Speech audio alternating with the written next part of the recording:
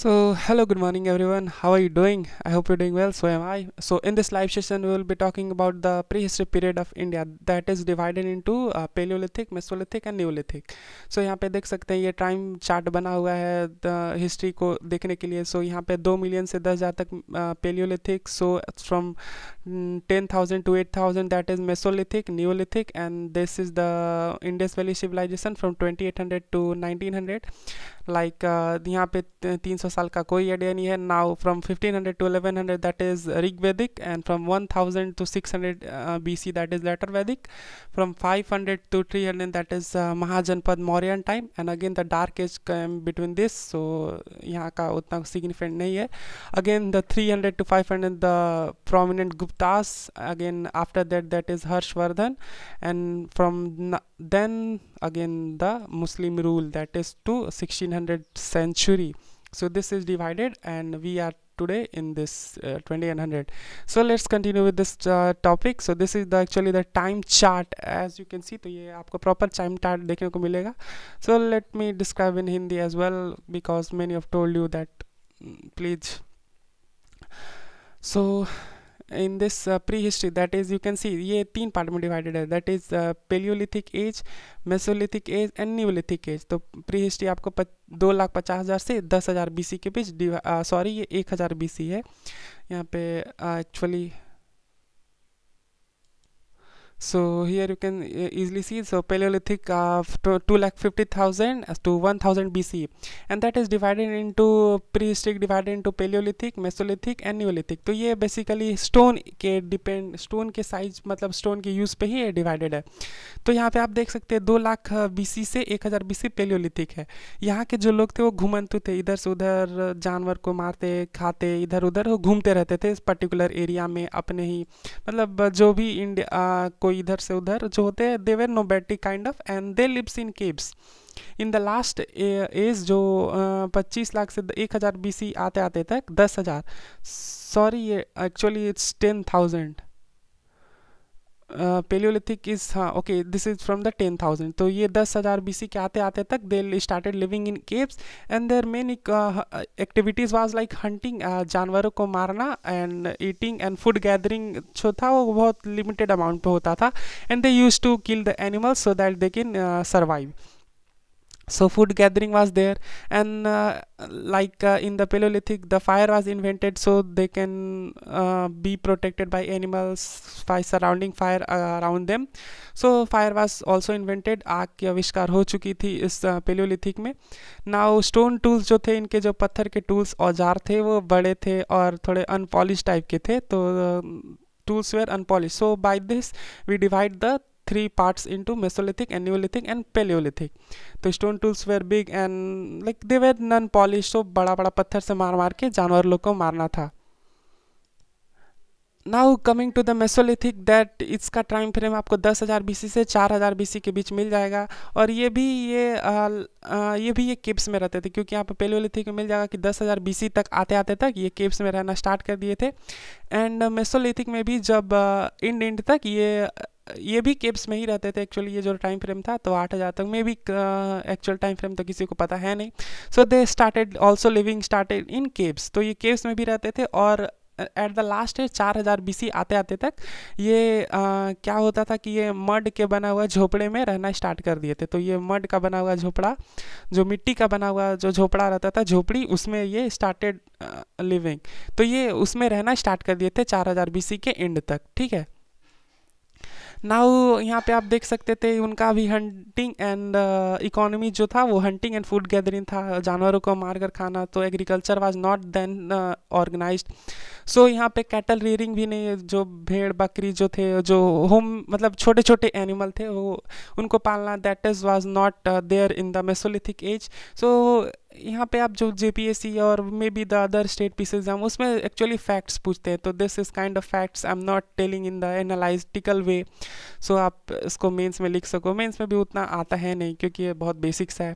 So hunting was their economy and food gathering was in their economy now cattle rearing जो भेड़ बकरी पालना, जानवरों को पालना was not organise so that was not organise at that time stone tools were जो stone tools इसमें बड़े होते थे ठीक है?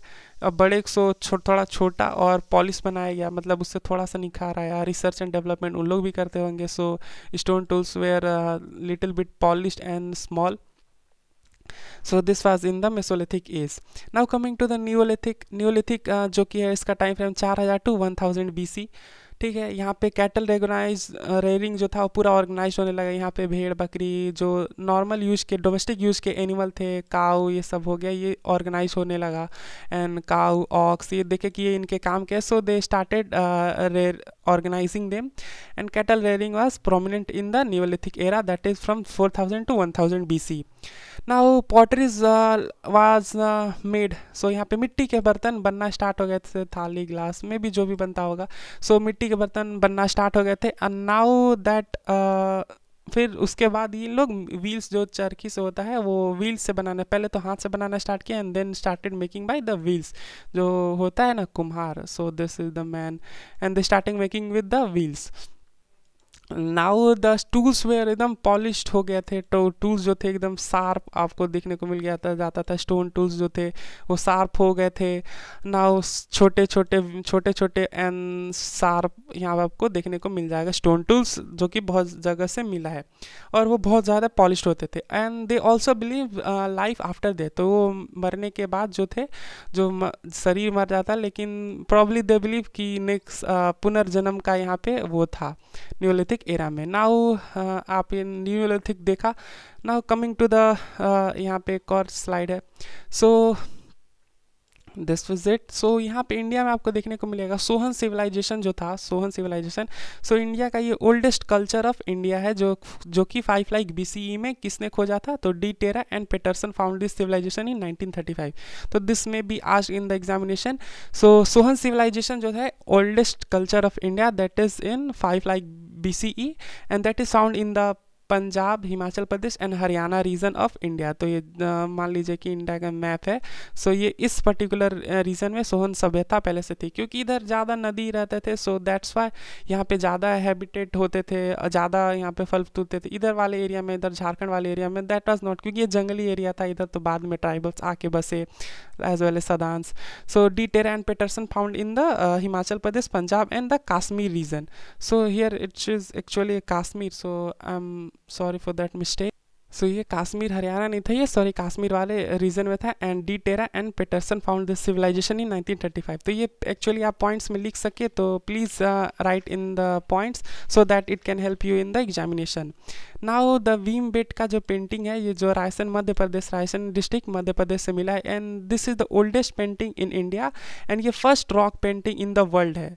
So actually is the first rock painting in the world that is इसका टाइम फ्रेम आपको पाँच लाख बीसी के अराउंड में है. एंड ये यूनेस्को के वर्ल्ड हेरिटेज साइट में ये रजिस्टर्ड है. ये भीम बेट का जो पेंटिंग आपको मिलेगा यूनेस्को के वर्ल्ड हेरिटेज साइट में एंड वर्ल्ड का ओल्डेस्ट पेंटिंग है. That is found in the Raisen district of Madhya Pradesh now the mesolithic culture found in India uh, okay. Is it recording? Yes this is live. So the Mesolithic culture is found in the Adamgarh that is in M P Madhya Pradesh में mesolithic culture आपको देखने को मिलेगा। वहाँ पे क्या आदमगढ़ में क्या मिला है? So there was cattle rearing first time cattle rearing was found in the mesolithic culture में जो था। टाइम फ्रेम आपको मैंने पिछले वीडियो से स्लाइड में बताया था। दैट इज़ बिटवीन आपको 10,000 से 4,000 बीसी में जो कैटल रेयरिंग जो था ये आदमगढ़ यूपी में सॉरी मध्य प्रदेश में आपको कैटल रेयरिंग देखने को मिलेगा। Now coming to the neolithic culture यहाँ पे न्यूलिथिक का जो रिमेन्स है वो कहाँ कहाँ मिले हैं? यहाँ पे आपको ब्रिज होम जो कि है श्रीनगर में, यहाँ पे ब्रिज होम का मतलब है कि बर्थ प्लेस इसका नाम से ही जो ब्रिज होम का मतलब है birth place so it's as the name said it's इसका मीनिंग हो गया ब्रिज होम का जो है मध्य that is birth place and this was found in the Srinagar यहाँ से आपको क्या क्या मिले हैं यहाँ पे आपको देखने को जो मिलेगा कि पीपल लिव इन डीचेस जो आदमी वहाँ पे थे, वो गड्ढे में रहते थे। जैसे नॉर्मल है, ये ज़मीन है तो ज़मीन का सरफेस है तो यहाँ people live in the ditches as in the world war में भी आपको देखने को मिलेगा कि पूरे जो सैनिक होते थे देश के, वो ये गड्ढे में जर्मनी के, जर्मन सेना जो थी, गड्ढे में रहती थी। लाइक ब्रिज होम में भी जो आपको पुराने जमाने में दे लिव इन गड्ढे, क्योंकि उस टाइम शायद घर बनाना they don't think that much so that's why they dig hole in the ground and they started living in the uh, ditches. तो गड्ढे में रहना उनका ज़्यादा वो था। एंड गड्ढा बेसिकली आपको राउंड और रेक्टेंगुलर शेप को मिलेगा। दैट इज़ रेक्टेंगुलर राउंड ऐसे शेप में आपको मिलेगा। And dead bodies of owner and dog are found तो डेड बॉडीज जो है uh, कुत्ते की और उसके मालिक की uh, देखने को मिली है। सो so, यहाँ पे इजीली पता चलता है कि that cattle rearing was there so so, इससे आपको मिलेगा। Now from the Burzahom ये आपको मैं ब्रिज होम का बता रहा हूँ ठीक है? फ्रॉम हियर टूल्स में डप ऑफ़ बोन्स तो बोन्स के भी टूल मिले हैं क्योंकि यहाँ पे इंड इंड तक जो शार्प जो होते थे sharp tools were organise so यहाँ पे टूल्स भी मिलेंगे। कैसे? तो बोन के टूल्स नाउ बात कर दे सेकेंड चीरंद बिहार। तो बिहार से आपको क्या मिला कि till some time before Ganga Yamuna doab only neolithic age तो गंगा यमुना के जो यहाँ पे जैसे गंगा यमुना मिली तो इस रीजन को बोलते हैं डोब तो ये डोब के रीजन से न्यूलिथिक एज के कुछ प्रमाण मिले थे। Later in Chechar, Sanwar and Tara Deep uh, found the evidence of the Neolithic culture. Like second important place we found evidence of bone tools तो यहाँ से भी बोन टूल्स चिरन बिहार में भी मिले हैं। Now coming to the south India में क्या क्या मिला सो साउथ इंडिया में जो संगम कल्लू जो है कर्नाटक में है। So first place we found the evidence of neolithic culture तो साउथ इंडिया में जो संगम कल्लू कर्नाटक है, वहाँ पे आपको न्यूलिथिक कल्चर के कुछ एविडेंस मिलेंगे। सो so, वहाँ पे स्टोन मिला है जिसका नाम वसूला था। तो वहाँ पे भी एक आ, संगम कल्लू से एक स्टोन मिला जिसका नाम वसूला था। तो you can easily write in your copy so that it can be clear so अगर नहीं लिखना है तो please comment down I will provide the P D F in the my group so memorable facts about the prehistoric जो कि देखने लायक है मतलब फैक्ट्स आप आइए तो in neolithic age bone to statue of mother goddess being found in Belan घाटी उत्तर प्रदेश सो bone statue मिला है मदर गॉडेस कौन बालन घाटी बालन घाटी, यूपी में आपको बोन का टूल्स मिले हैं। कहाँ से? तो यूपी में गॉडेस मदर स्टैचू का उनका स्टैचू मिला है मदर गॉडेस का न्यूलिथिक एज के। और फ़र्स्ट टाइम जॉन कुबाक ने यूज़ किया था term neolithic and V Gordon Childe give the term neolithic culture. तो फ़र्स्ट टाइम किसने यूज़ किया था neolithic term? That is John Lubbock तो जॉन क्यूबाक ने फ़र्स्ट टाइम न्यूलिथिक का टर्म यूज़ किया था Lubbock and now the V Gordon Gordon Childe use the term neolithic culture. And the biggest weakness of prehistoric is very few remains of human being found तो pre historic का जो biggest weakness है तो यहाँ पे आपको ज़्यादातर पत्थर यही सब आपको देखने को मिलेगा। बट uh, बहुत कम अमाउंट में आपको uh, जो है आपको जो आदमी के रिमेन्स है, वो बहुत ही कम लिमिटेड अमाउंट में मिले हैं। सो ये उतना ज़्यादा क्लासीफाई नहीं करता है। सो इसी बात का वीकनेस है क्योंकि बाकी सब एरिया बाकी सब में ह्यूमन रिमेन्स मिले हैं। नाउ दैट इसके बाद आता है चालकोलिथिक एज जो चालकोलिथिक एज है, वो 3500 टू 600 BCE में है and this is found in the Rajasthan Madhya Pradesh and Maharashtra तो राजस्थान में कौन कौन से जो साउथ ईस्ट राजस्थान है तो साउथ ईस्ट राजस्थान में आपको देखने को मिलेगा तो कौन कौन से एरिया में साउथ ईस्ट राजस्थान में आपको आहर गिलोन एंड बनास और फिर मध्य प्रदेश में कैठा एरेन एंड महाराष्ट्र में आपको नेवासा दैमाबाद नासिक प्रभास चंदौली एंड जौरवी तो ये आप महाराष्ट्र में इतने जगह से आपको चालकोलिथिक एज मिलेगा। एंड यहाँ के जो फीचर्स है चालकोलिथिक एज के तो आप यहाँ पे देखिए। So the people of this culture use copper and stone mostly stone तो पीपल यहाँ पे थे दो कॉपर और स्टोन के टूल्स ज़्यादा यूज़ करते थे। तो copper and stone tools were use ठीक है। दूसरा फीचर की बात करें तो their economy was mainly based on the agriculture and cattle तो दो, वो मेनली डिपेंड होता था उनका इकॉनमी दैट इज़ पशुपालन और एग्रीकल्चर पे दे मेनली डिपेंड। तो कैटल रियरिंग एंड आपको हो गया agriculture. So they mainly depend on cattle rearing and agriculture now in the third they worship mother goddess तो ये मातृ देवी की जो पूजा करते थे मदर गॉडेस की दे वर्शिप मदर गॉडेस तो this thing was there in the chalcolithic age now this was of the chalcolithic age now mesolithic age की बात करें तो यहाँ पे actually I haven't written that तो I directly started from the neolithic culture so wait second so this was the mesolithic culture so mesolithic culture so ये आपका time frame था ही, आपको पता, ये ten thousand B C E to four thousand B C E ठीक है? Now the mainly uh, nomenclature is kept so people of this age keep a big erected stone beside a dead body that's why it's called a megalithic culture तो यहाँ पे dead body के side uh, में एक बड़ा सा stone रख देते थे ये suppose that is dead body यहाँ पे डेड बॉडी है तो उसके बगल में बड़ा सा स्टोन रख सकते रख देते थे इसीलिए इसका जो नाम पड़ा है वो मेसोलिथिक कल्चर है। सो so, यहाँ इसका फीचर्स है दो ये mainly found in south India तो ये सपोज़ दिस इंडिया तो they mainly found in the southern part of India तो आ, पहले हिस्ट्री में महाराष्ट्र के जो नीचे वाला एरिया पोर्शन आता है वो साउथ इंडिया में ही आता है तो महाराष्ट्र गुजरात वाला पोर्शन भी थोड़ा और बाकी सब भी साउथ इंडिया के अंदर।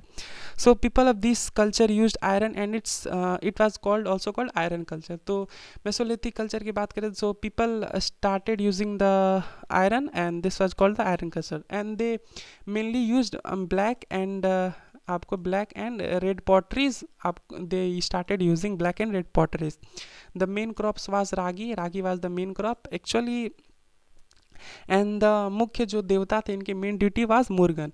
So Murugan इनके मेन डिटी थे मुर्गन। तो मुर्गन हुआ Murugan? So Murugan is identified as Kartikeya the son of Shiva.